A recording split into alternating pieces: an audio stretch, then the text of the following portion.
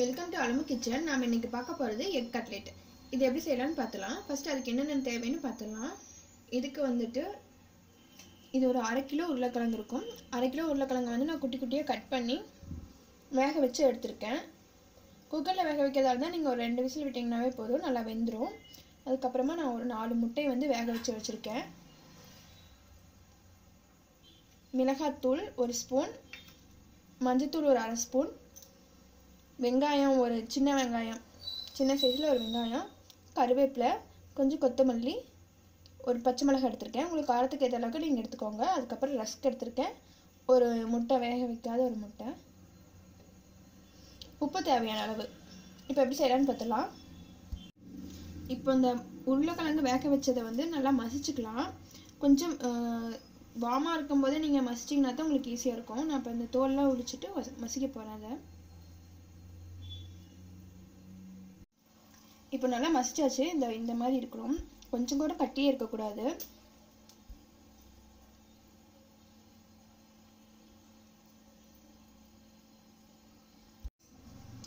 அடுத்து நம்ம வேக வச்சிருக்க முட்டையை வந்துட்டு தோல் உரிச்சுக்கலாம்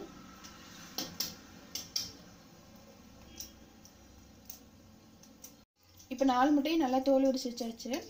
இப்போ அதை வந்து நான் ரெண்டாக கட் பண்ணிக்க போகிறேன் உங்களுக்கு எந்த மாதிரி வேணுமோ அந்த மாதிரி கட் பண்ணிக்கோங்க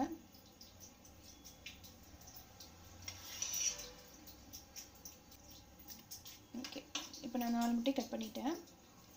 இப்போ அடுத்தது வந்து ரஸ்க்கை வந்து நம்ம நல்லா பொடிச்சுக்கலாம். இந்த ஒன்று வச்சிடலாம். அடுத்தது நான் எடுத்து வச்சுருக்க ரஸ்க்கை வந்து ஒரு மிக்ஸி ஜாரில் போட்டு பொடிச்சுட்டு போகிறேன்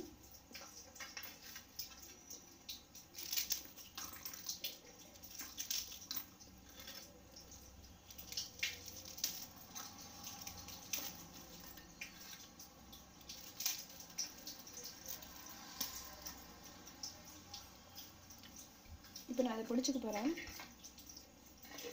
இப்போ இதை பிடிச்சாச்சு இது இந்த கப்பில் வச்சுக்கிறேன்.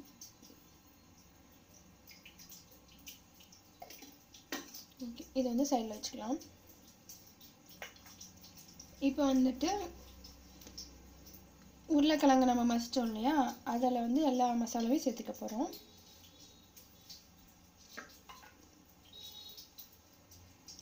ஒரு வெங்காயம் ஒரு பச்சை மிளகாய் ஒரு கொத்து கருவேப்பிலை கொத்தமல்லி அரை ஸ்பூன் மஞ்சள்தூள் ஒரு ஸ்பூன் மிளகாய்த்தூள். உங்கள் காரத்துக்கு ஏற்ற அளவுக்கு சேர்த்துக்கோங்க. உப்பு. நான் உருளைக்கிழங்கு வேக வைக்கும்போது உப்பு போடல. அதனால் நான் எல்லாத்துக்கும் சேர்த்து இப்போ தான் உப்பு போட போகிறேன்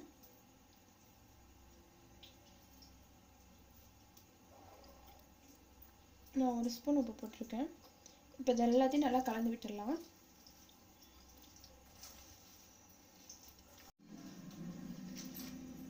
இப்போ நல்லாத்தையும் நான் எல்லாம் கலந்து வச்சுருக்கேன். இப்போ வந்துட்டு நம்ம எப்படி செய்யுதுன்னு பார்க்கலாம். இதுக்கு வந்துட்டு கொஞ்சம் கையில் ஒட்டும். அதனால நான் அந்த மாதிரி ஒரு பேப்பர் எடுத்திருக்கேன். இந்த பேப்பர் மேலே வந்துட்டு கொஞ்சமாக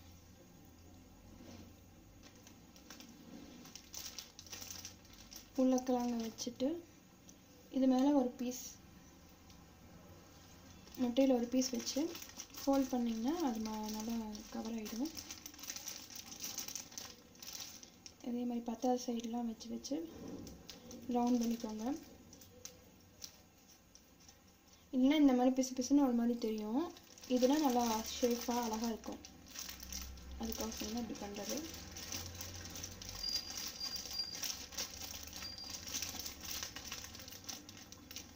ஓகே இதே மாதிரி நான் எல்லாத்தையும் செஞ்சுட்டு உங்களுக்கு காமிக்கிறேன். இப்போ நான் வந்து எல்லா ஒன்றையும் ரெடி பண்ணி வச்சுட்டேன் இந்த மாதிரி. இப்போ நீங்கள் வந்துட்டு ஈவினிங் கிட்ஸ் கொடுக்குற மாதிரி இருந்துச்சுன்னா ஃபஸ்ட்டு இந்த மாதிரி நீங்கள் ரெடி பண்ணி வச்சுருங்க. இது வரைக்கும் செஞ்சு ஃப்ரிட்ஜில் வச்சுருங்க. அதுக்கப்புறம் உங்களுக்கு எப்போ தேவையோ அப்போ எடுத்து நீங்கள் வந்து இந்த ப்ரெட் க்ரம்ஸில் டிப் பண்ணி எண்ணெயில் போட்டு பொரிச்சிட்டிங்கன்னா ரெடி ஆகிடும் இப்போ நம்ம எப்படி செய்யலான்னு பார்க்கலாம். இதை வந்து நான் சைடில் வச்சுக்க போகிறேன் ஃபஸ்ட்டு ப்ரெட் க்ரம்ஸ் ரெடி பண்ணோம் இல்லையா அதை வந்து எடுத்துக்கிட்டேன். இப்போ வந்து ஒரு முட்டை வந்து சொல்லியிருந்தோம் இல்லையா ஃபஸ்ட்டு அந்த முட்டையை வந்து இப்போ உடச்சி ஊற்றிக்க போகிறேன் நமக்கு வந்து ஒயிட் மட்டும் தான் போதும் யோக் தேவையில்லை.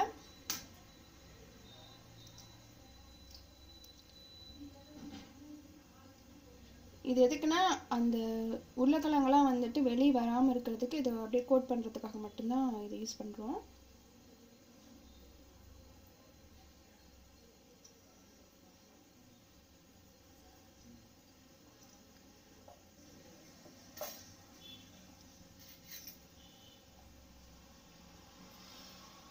இதில் ஒரு பிஞ்ச் உப்பு போட்டுக்கலாம்.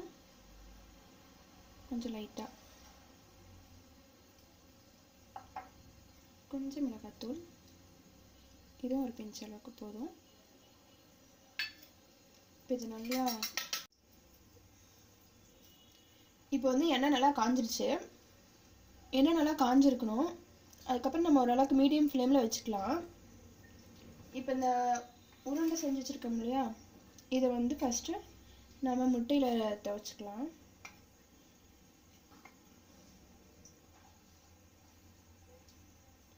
இது மண் இது மட்டும் கொஞ்சம் கேர்ஃபுல்லாக பண்ணுங்கள் இல்லைன்னா இந்த மாதிரி ஒரு மாதிரி ஆகும். வலுக்கும் அதனால். அதுக்கப்புறமா நம்ம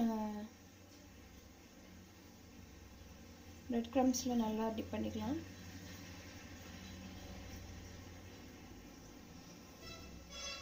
பிரெட் க்ரம்ஸில் டிப் பண்ணிட்டு அப்படியே போட்டிங்கன்னா மேலே இருக்கிறதெல்லாம் வந்துட்டு எண்ணெயில் பிரிஞ்சு கசடு மாதிரி ஆகிடும் அதுக்கு அதுக்காக இந்த மாதிரி ஒரு டைம் அழுத்தி விட்டுட்டிங்கன்னா ஓரளவுக்கு அந்த கசடு ஆகிறது பிரிஞ்சு வந்து கசடாகிறது ஆகாது. மேலே தூக்கிட்டு இருக்கிற மாதிரி இருக்க இருக்கிற மாதிரி வச்சுக்காதீங்க இந்த பிரெட் க்ரம்ஸை இப்போ எண்ணெய் நல்லா காஞ்சிருச்சு. இதில் மெதுவாக உள்ள போட்டலாம்.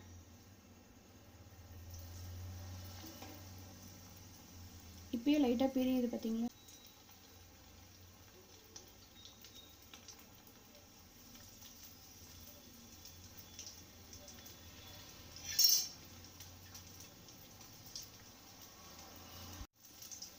இப்போ வந்து மெதுவாக திருப்பி விடலாம்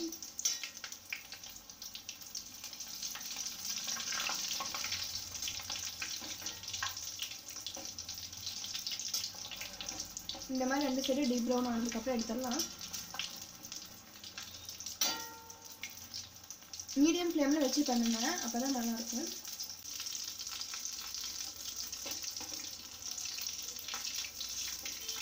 இப்போ இது நல்லா வெந்துருச்சு. நான் எடுக்க போகிறேன்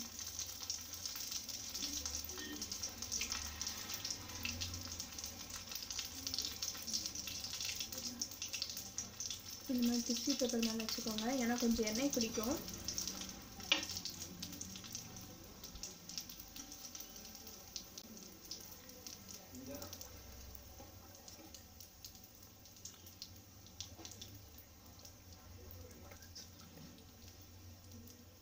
இந்த மாதிரி கத்தி சி கரண்ட் இந்த மாதிரி பட்டுருச்சுன்னா உங்களுக்கு உடஞ்சிரும். அதனால் கொஞ்சம் கேர்ஃபுல்லாக எடுங்க.